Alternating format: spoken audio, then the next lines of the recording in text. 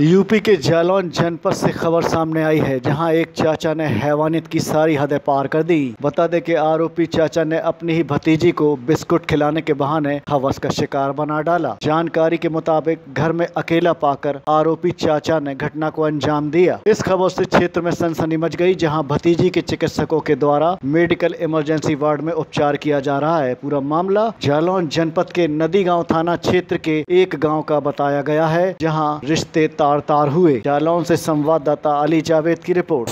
क्या घटना हुई है बच्ची के साथ? बच्चे के साथ जो है बलात्कार हुआ।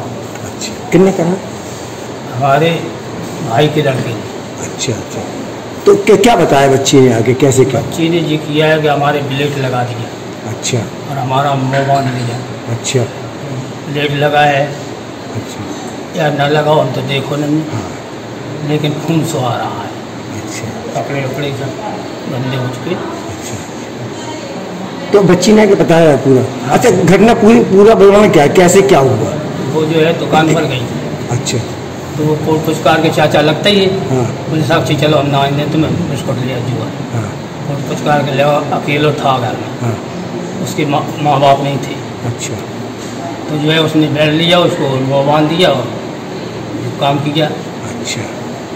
काम के बाद जो है ना देखा तो नहीं है किसी ने। हम्म, अकेला था लेकिन उसने बुलेट का चीरा लगाया। अच्छा अच्छा। तो बच्ची ने आगे बताया था ये? हाँ, वो कहाँ अपने घर ले गया था वो? अपने घर। दुकान से अपने घर। हमारा घर और उसका घर अलग अलग है। अच्छा पुलिस से अपनी बात बताइए आपने पुलिस? हाँ। अच्छा पुलिस ने क्या कहा आपसे रिपोर्ट लिख जो कुछ रिपोर्ट लिखी हुई है। अभी कहाँ आए वो बच्चों के लिए?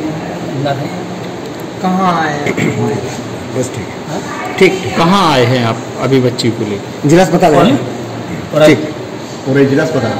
हाँ ठीक ठीक। चलो जाओ जाओ जाओ। देखो बच्चे।